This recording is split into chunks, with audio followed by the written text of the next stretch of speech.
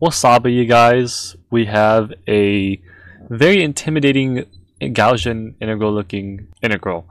Uh, yes, this is it's it's technically a Gaussian integral, but you're probably thinking, okay, but how? What do we? How do we even do this? So don't freak out. It's okay. Or the you know the first thing, let u equal x squared.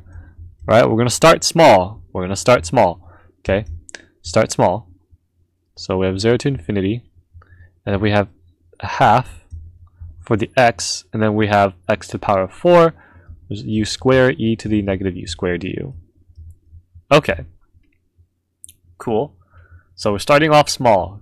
Okay? Start off small. If you see something scary looking or intimidating you, just start small and then flow. Flow to where it takes you.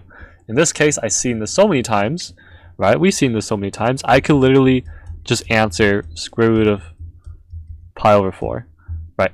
Because I've seen this so many times. But for those who haven't seen this integral, let me show you. Okay? Whenever you see something like this, you do integration by parts.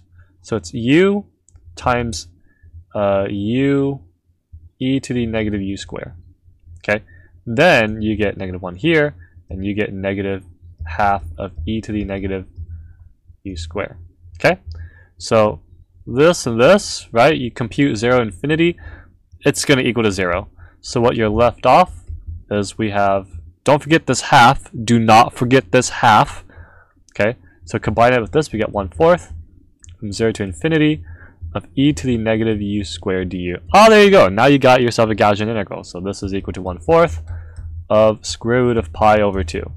So our answer, like I said, this is equal to the square root of pi over 8. And that should be our answer. Okay?